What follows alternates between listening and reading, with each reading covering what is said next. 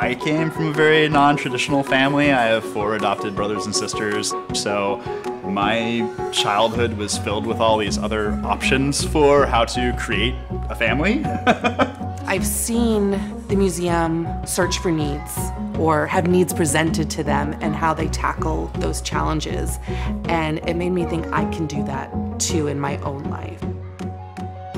The sanctuary was born out of an idea that um, kids come into care at a very rapid rate. The Children's Museum has actually come into the emergency sanctuary and help us set up a play-friendly area where kids can paint and draw and color, really be creative. I would say one of the biggest challenges there, just their emotions are so high and they have they have so much love, but they don't know how to channel it. What the Children's Museum offers to kids in foster care is, uh, first of all, a place for them to express creativity and learn how to do that. And the second thing it does is it gives them a sense of community. When kids are living in tra traumatic situations, they are not able to access that part of their brain where creativity and play come into their lives.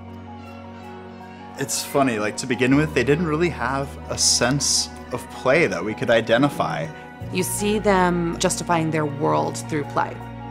He is turning three, and when he first came into our home, he maybe had 100 words in his vocabulary. And now he's talking in eight word sentences and talking and talking and talking, has full on conversations and crazy stories. And mm -hmm. that growth has also been huge.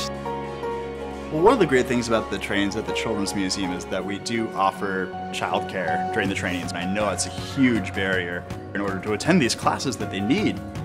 The, the honest answer is there's more days that I want to cry than not.